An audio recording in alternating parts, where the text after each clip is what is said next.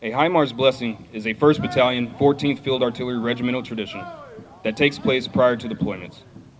A cedar blessing, initiated by the Kiowa tribe, is used to ward off bad spirits and to protect soldiers for the road ahead. It's an honor to be here for Espen, uh, for the cedar blessing.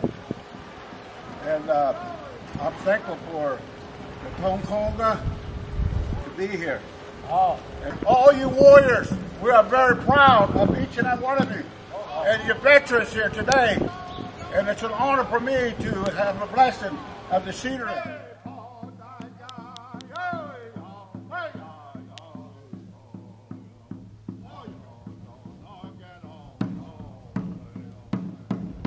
It is an honor that we carry uh, with, a, with, a, with a proud heart, and thank you so much.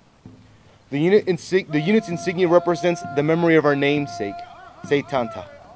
It bears a Maltese cross representing the Morning Star and the regiment's formation, as it's surrounded by 14 silver gouttes d'eau, or for those of you that don't speak French like myself, 14 droplets.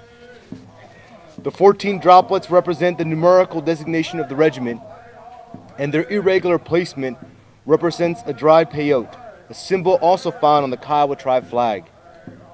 A silver and red reef are on top of the droplets, and above them sits a war bonnet with the arrow of Tetanta piercing through it.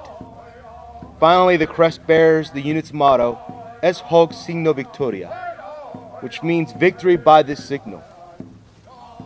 As we set to deploy, we carry forward this blessing that reinforces our bonds to this community and the Kiowa tribe, never forgetting the significance that our unit carries. For where it goes, victory follows.